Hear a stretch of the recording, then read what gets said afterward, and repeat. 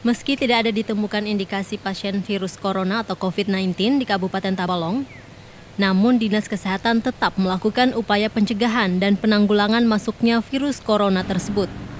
Hal ini dilakukan sebagai upaya untuk meminimalisir dampak negatif jika virus tersebut masuk ke Tabalong.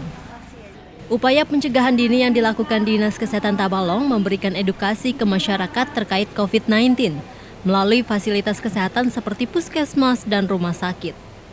Selain itu, Vaskes juga diminta untuk bersiaga, terutama fasilitas rujukan jika ada indikasi pasien pengidap COVID-19.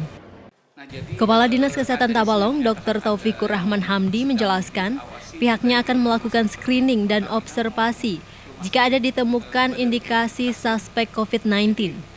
Pihaknya juga telah menyiapkan SOP evakuasi dengan syarat dan kaidah sesuai anjuran medis. Sesuai dengan uh, arahan dari Kementerian Kesehatan, kita fasilitas kesehatan uh, pertama melakukan kegiatan-kegiatan edukasi kepada masyarakat penyuluhan bagaimana untuk uh, masyarakat agar terhindar atau tercegah dari corona ini. Yang kedua kita juga menyiapkan sarana-sarana untuk proses rujukan jadi dalam hal ini eh, di Kalimantan Selatan ada dua rumah sakit rujukan untuk kasus corona ini yaitu Rumah Sakit Ulin Banjarmasin dan Rumah Sakit Haji Buyasin Plehari.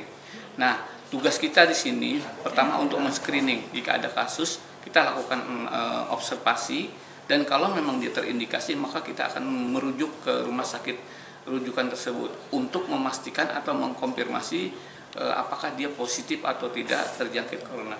Jadi untuk suspek saja kita sudah mulai screening, kemudian uh, bagaimana evakuasinya dengan syarat-syarat dan kaidah-kaidah tertentu itu sudah kita persiapkan. Dokter Taufik menambahkan sebelumnya Bupati Tabalong dan sejumlah dinas terkait telah melakukan rapat koordinasi dalam persiapan merumuskan langkah ke depan untuk tindak pencegahan serta penanggulangan wabah corona yang digelar 16 Maret 2020. Rangga TV Tabalong melaporkan.